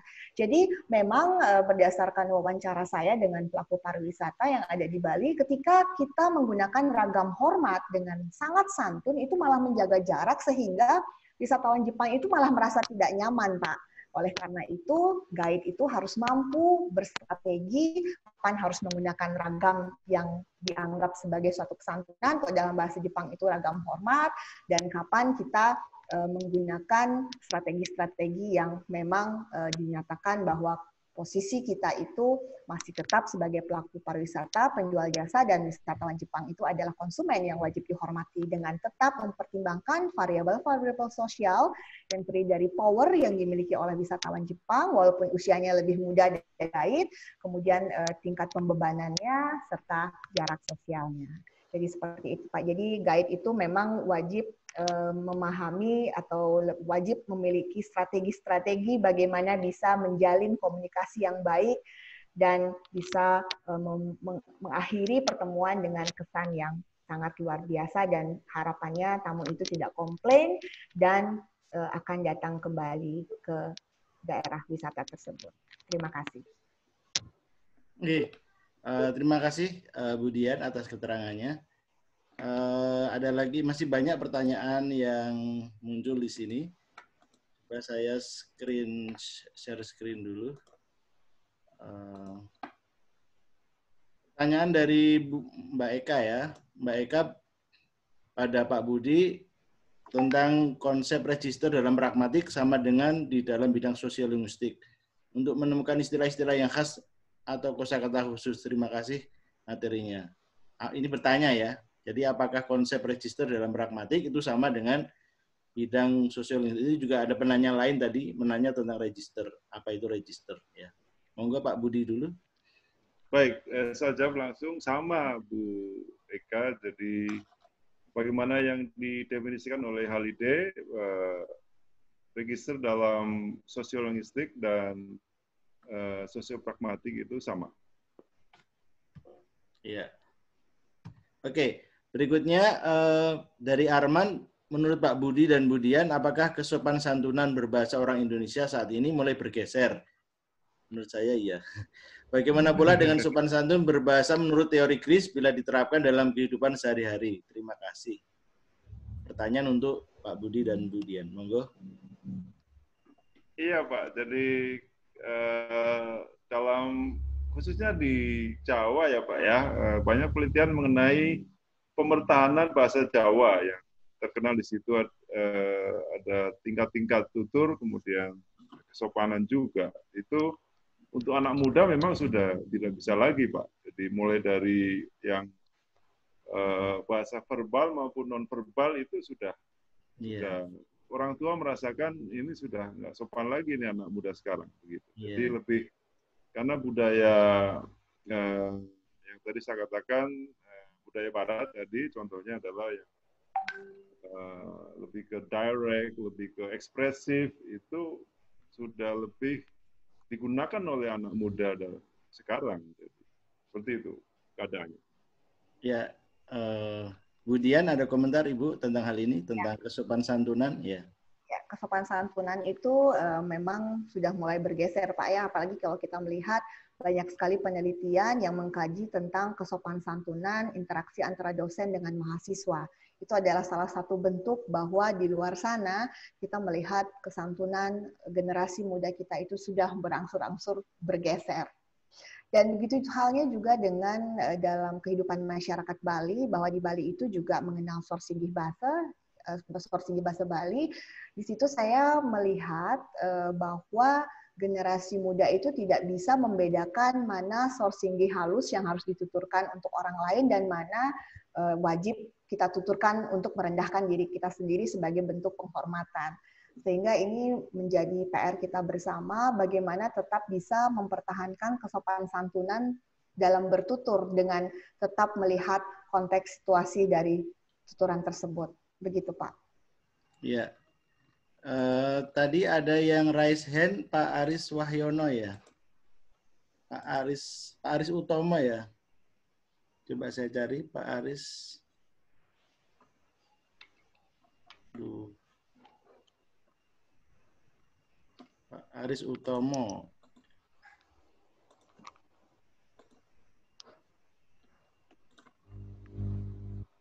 Pak Aris, ada Pak Aris Utomo? Saya persilahkan untuk menanyakan sesuatu, Pak. Tadi raise hand. Oke.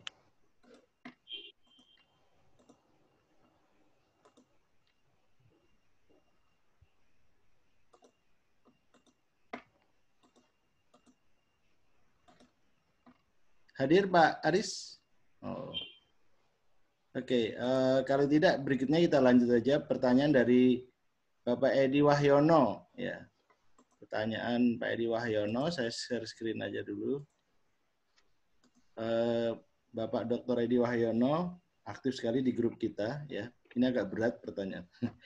Jadi pada Pak Pak Budi dan Budian, kalau tidak salah data-data yang dipaparkan tadi berasal dari pelaku pariwisata yang terdidik secara khusus tentang hospitality, yang tentu saja sangat memahami bersikap dan bertutur dengan santun pada lawan tuturnya. Bagaimana kalau respondennya adalah masyarakat biasa yang belum pernah diajari secara khusus tentang kesantunan dalam hospitality ini? Apakah ada data-data bahasa yang dari masyarakat umum tersebut dapat disimpulkan bahwa secara dominan mereka sudah bertutur santun saat berbicara dengan wisatawan, wisatawan domestik maupun asing? Monggo Pak Budi atau Budian dulu. Baik, terima kasih Pak Edi. Ya, benar sekali Pak bahwa eh, pelaku wisata yang menjadi responden dalam penelitian saya itu eh, kebanyakan adalah eh, lulusan eh, diploma pariwisata dan juga sarjana pariwisata sehingga memang sudah dididik masalah hospitality dan hospitality sudah menjadi apa, gaya hidupnya ya sejak dari mahasiswa sampai menjadi pelaku wisata. Di samping itu, dalam menjalankan fungsinya sebagai penyedia layanan wisata, mereka juga menerapkan SOP. Jadi SOP itu termasuk juga uh, mengenai sobat santun di situ, Pak. Uh, kemudian, uh, ya banyak sekali Pak yang kalau yang belum terdidik masyarakat biasa dan uh, itu memang cenderung uh, secara umum uh, orang yang terdidik itu komunikasinya lebih santun daripada yang kurang terdidik atau pendidikannya lebih rendah seperti itu, Pak. Dan itu perlu dibuktikan dengan penelitian juga, Pak. Bagaimana masyarakat umum dalam melayani wisatawan, meskipun secara umum eh, misalnya masyarakat-masyarakat yang sudah terbentuk dan sudah sadar bahwa PAD, penghasilan, kemudian eh, aktivitas di Jogja dan di Bali misalnya sangat tergantung eh, terhadap wisatawan yang datang. Mereka sudah terbentuk menjadi masyarakat yang santun, Pak. Di daerah lain mungkin juga perlu dibuktikan apakah orang Jogja dan Bali saja yang uh, lebih santun ada motif untuk uh, kepentingan uh, apa financial benefit seperti itu Bapak. Ya. Dari Budian ada keterangan Ibu sedikit mungkin tentang Ya, baik Pak. Terima kasih Pak Edi, salam kenal. Saya Dian. Saya kebetulan memang meneliti tentang pelaku pariwisata terdidik dan pekerja pariwisata. Jadi bagi saya pelaku pariwisata tidak terdidik itu dianggap pekerja pariwisata karena mereka umumnya eh, bekerja di dalam ranah tourism hanya tidak eh, tidak mendapatkan eh, apa pendidikan secara formal tentang penggunaan ragam bahasa dan lain sebagainya. Nah, eh, di sini eh, berdasarkan data yang saya dapatkan, kebetulan saya melakukan penelitian terhadap Beach Boy yang ada di Pantai Kuta. Jadi saya berteman dengan para Beach Boy tersebut. Saya melihat secara langsung di sana mereka memanggil wisatawan. Dalam hal ini saya ambil contoh wisatawan Jepang. Mereka memanggil dengan sebutan sacho, Pak. Sacho itu adalah bos. Menurut budaya kita, ketika seseorang ingin kita tinggikan posisinya, kita panggil dengan bos. Sedangkan dalam bahasa Jepang, kata bos atau sacho di sana dianggap mengancam mukasi wisatawan Jepang karena dianggap panggilan kata bos yaitu sacho tersebut hanya bisa digunakan dalam ranah eh, perkantoran, dalam domain bisnis yang ada di Jepang. Nah, kemudian di situ saya melihat ekspresi dari wisatawan Jepang, dia tidak marah tetapi terkejut. Namun, di sana wisatawan Jepang akan memahami bagaimana konteks uh, situasi bertutur itu dalam situasi informal. Kemudian mereka paham juga bahwa uh, para beach boy itu tidak memahami dengan baik bagaimana budaya Jepang. Jadi um, seiring dengan komunikasi-komunikasi tersebut, uh, di sana saya melihat interaksi tetap masih berjalan, terutama dalam interaksi jual beli atau sewa menyewa papan survei. Begitu Pak. Jadi di sini uh, saya melihat para beach boy yang ada di Pantai Kuta itu bukan berarti mereka tidak santun dengan menggunakan kata sacho atau bos di sana. Itu adalah salah satu bentuk implementasi bahwa mereka ingin menghormati konsumen, khususnya wisatawan Jepang. Namun karena perbedaan budaya itulah mengakibatkan adanya uh, ketidaksantunan hanya saja di sini eh, selain Beach Boy, saya juga ada menemukan data dari driver guide ketika mereka tidak sama sekali menggunakan eh, penanda-penanda hormat seperti yang ada dalam eh, tingkat tutur bahasa Jepang. Misalnya contoh genki yang artinya sehat, harusnya genki deska. Deska itu adalah penanda dalam ragam hormat tenego, tapi dia sama sekali tidak menggunakan ragam tersebut apa yang saya lihat interaksi masih tetap berjalan, Pak. Jadi di sana berdasarkan penelitian saya bukan berarti mereka tidak santun, tetapi itu adalah salah satu bentuk dari ketidakpahaman mereka terhadap budaya Jepang. Jadi ini adalah peran dari eh, dinas pariwisata provinsi untuk eh, mampu apa untuk memberikan eh, mereka istilahnya seperti pendidikan atau istilahnya seperti kursus kepada para pekerja pariwisata. Seperti itu, Pak. Terima kasih. Ya.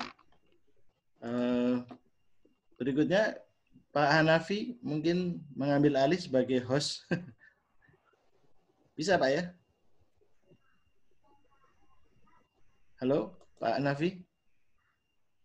Halo? Saya an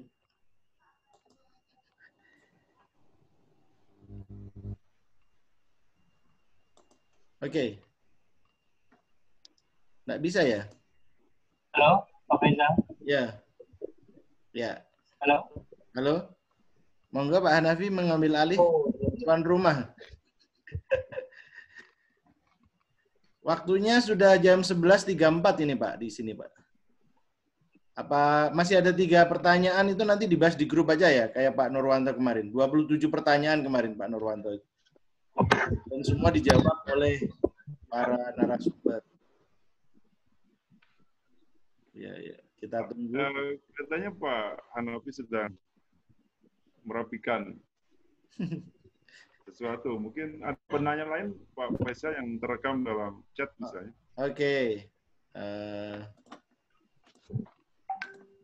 ada masih ada tiga pertanyaan, Pak ya. Kita jawab singkat-singkat aja ya.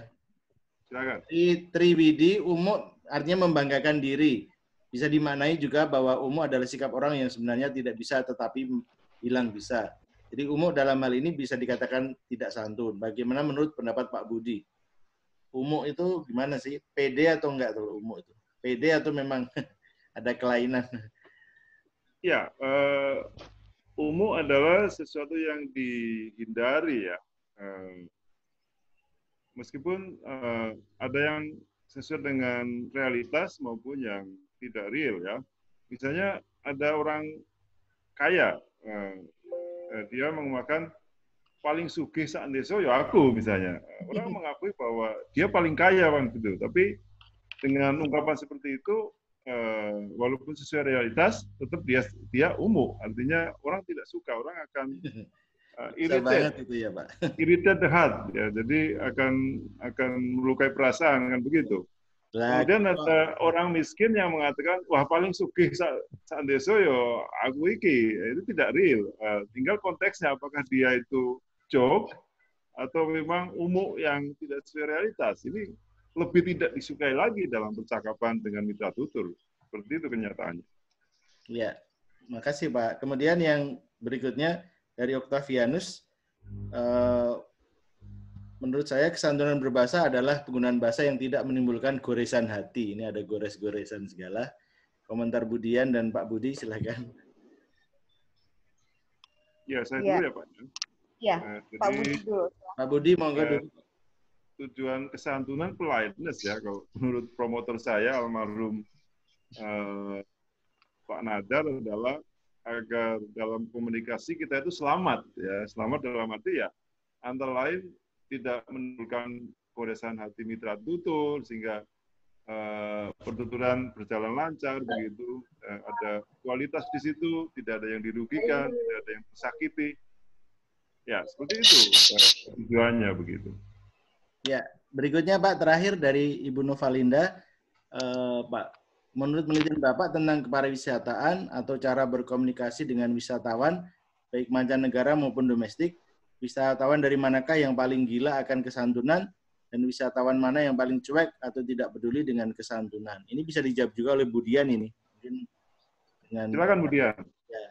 Ya, uh, maaf Pak, ini Pak Faizal, uh, kalau tidak salah Prof. Octavianus ini ada bertanya juga kepada saya. Mungkin saya mohon izin kepada Prof. Octavianus. Ya, Selamat siang, Prof. Octavianus. Ya. Salam hormat saya akan uh, menyampaikan bahwa goresan hati itu menimbulkan sesuatu hal yang benar-benar uh, ini ya terkesan apa tidaknya ya. Jadi kesantunan berbahasa seseorang itu memang uh, harus dipahami bagaimana seorang penutur itu supaya tidak mengancam muka mitra tuturnya yang akan menimbulkan goresan hati seseorang sehingga pelaku uh, sehingga penutur itu secara umum wajib memiliki strategi-strategi agar tidak mengancam apakah tuturannya itu bisa meninggalkan goresan hati yang uh, akan berdampak pada satu dosa mungkin ya kemudian dua uh, interaksi kita akan bisa berlanjut atau tidak.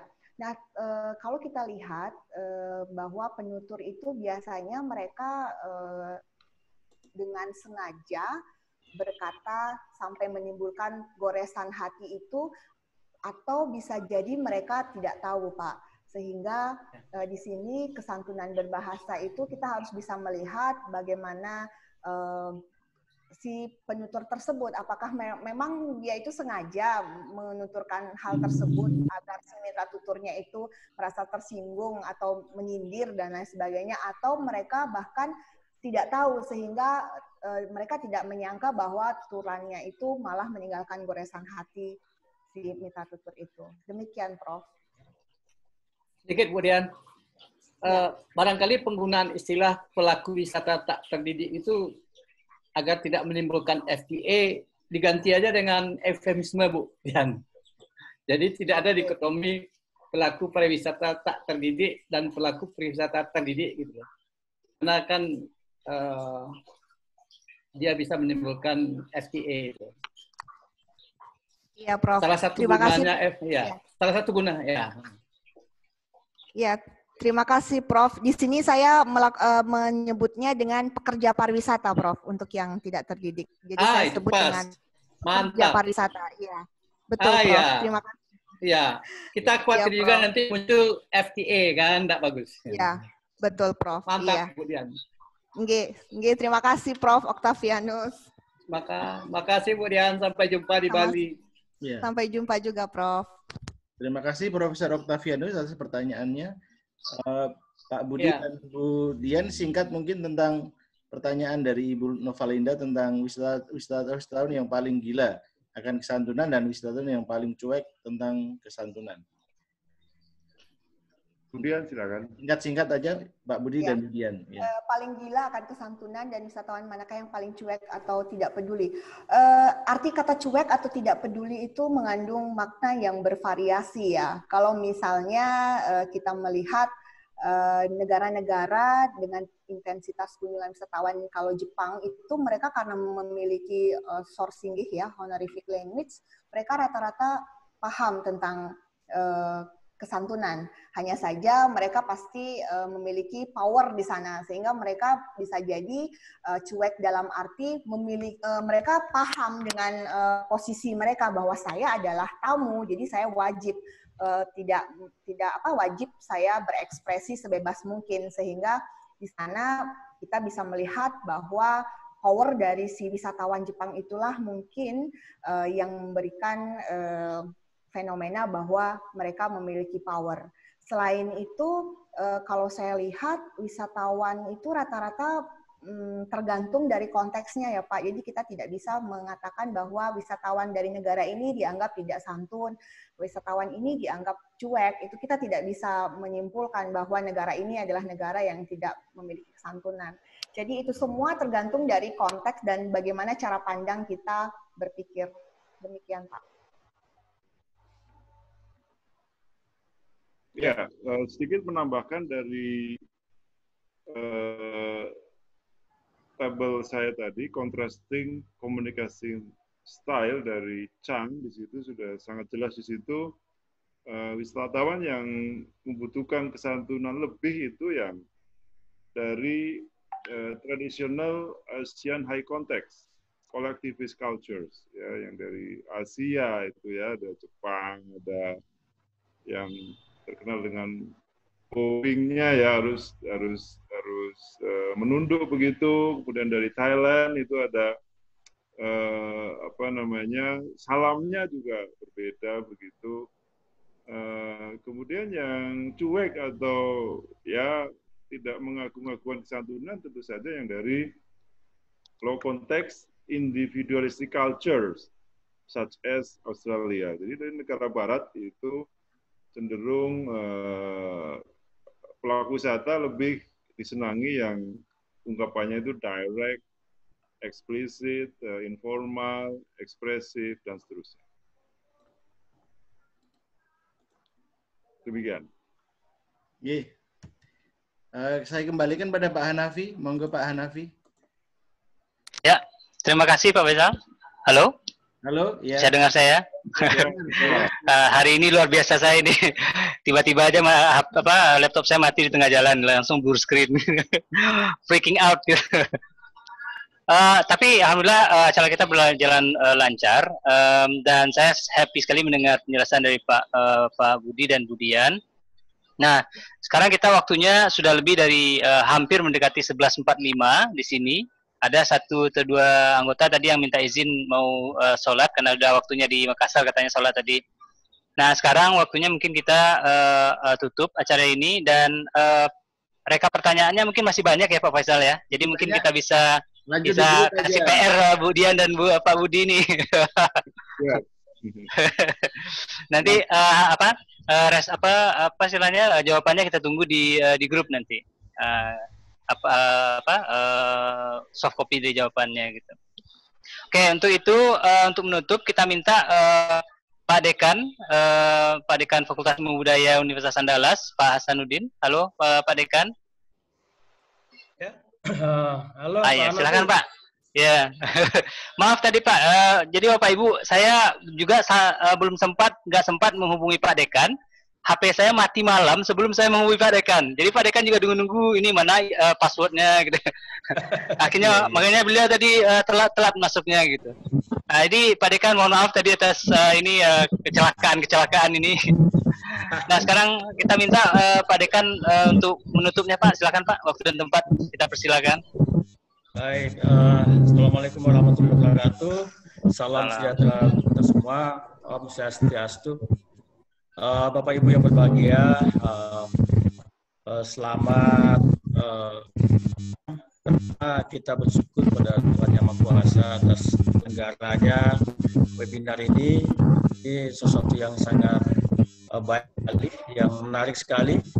Terlepas pada Dr. Budi Purnomo MU dari Sekolah Tinggi Perwisata Sains Surakarta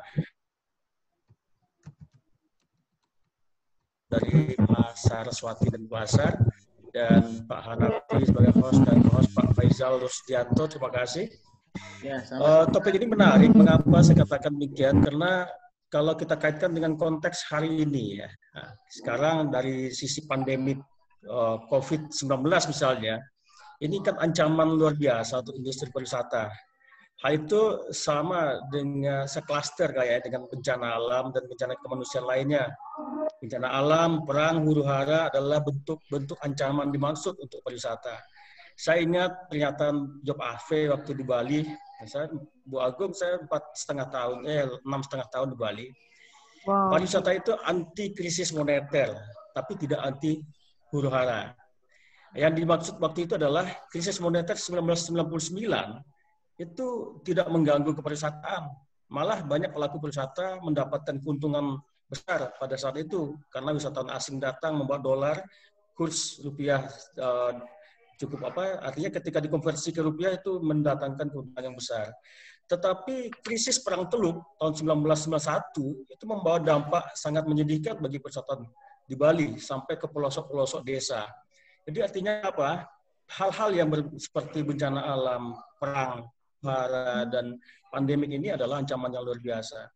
Kemudian yang kedua adalah banyak orang berpandangan bahwa revolusi industri 4.0 itu menimbulkan destruksi sosial. Segala sesuatu berbasis digital. Banyak pekerjaan yang hilang dan berganti dengan profesi baru berbasis IT.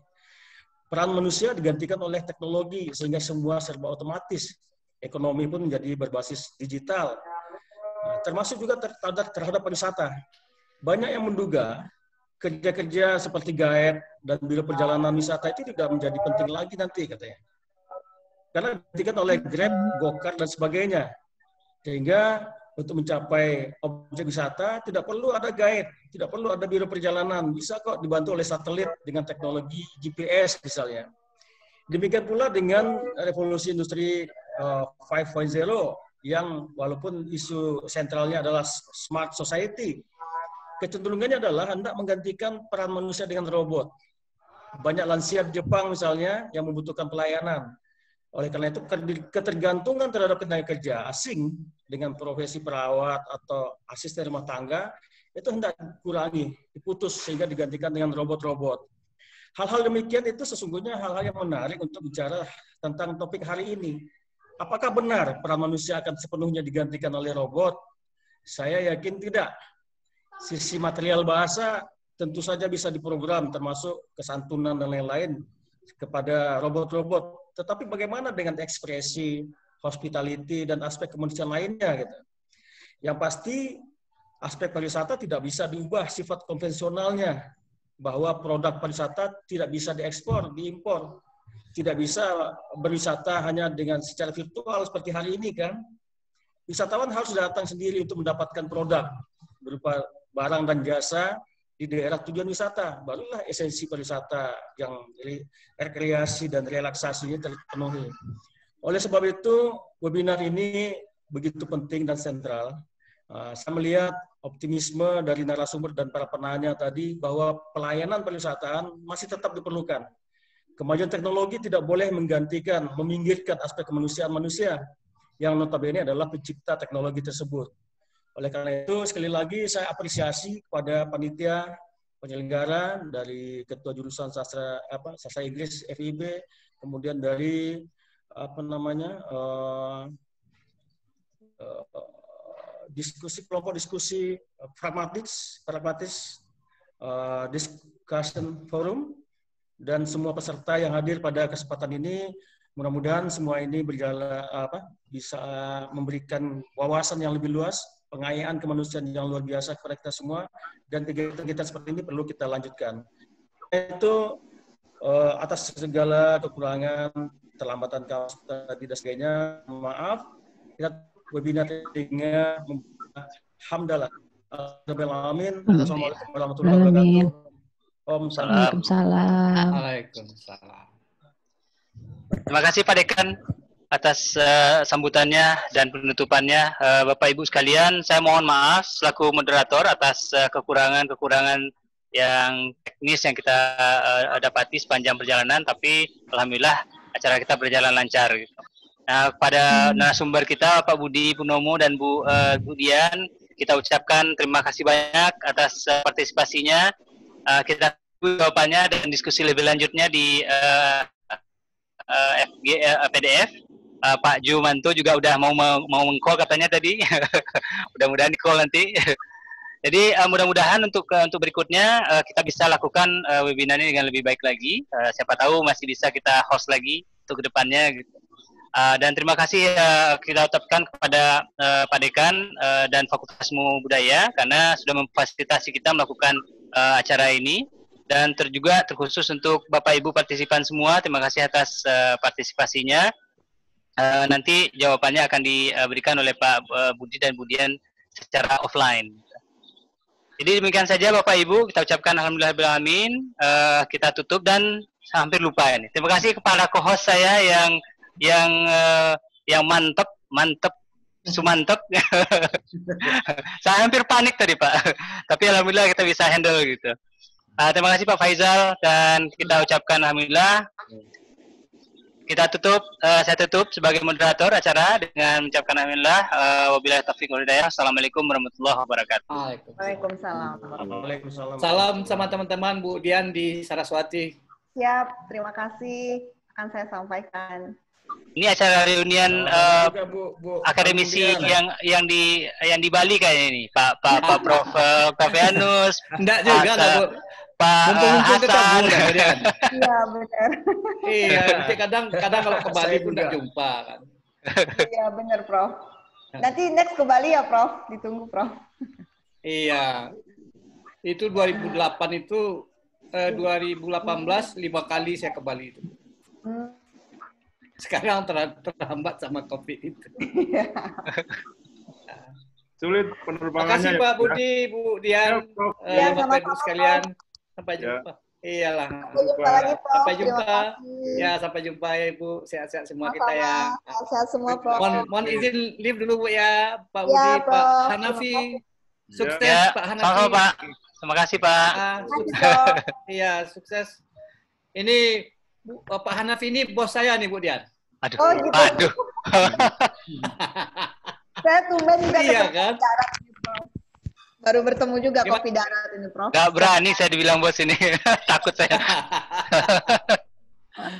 Terima kasih Pak Anafia. Live dulu ya. Terima kasih Pak uh, Pak Prof. Iya, makasih Pak Anafia. Bapak Ibu semua, terima kasih atas uh, kedatangannya juga. Ya. Kita tanpa ya, disebutkan satu persatu ya, ini ada 80 ya. orang, udah berkurang 51. Oke. Ya. Terima kasih Pak Hanafi. Terima kasih Bu Dian. Terima kasih Pak Faizal, ya, luar biasa. Terima kasih. Mudah-mudahan satu waktu kita ketemu darat ya, Pak uh, Pak ya, Budi, betul. Bu Dian, betul, Faizal. Ya, tetap kontak-kontak di WA grup. Ya, insyaallah. Ya, terima kasih. Assalamualaikum warahmatullahi wabarakatuh. Waalaikumsalam.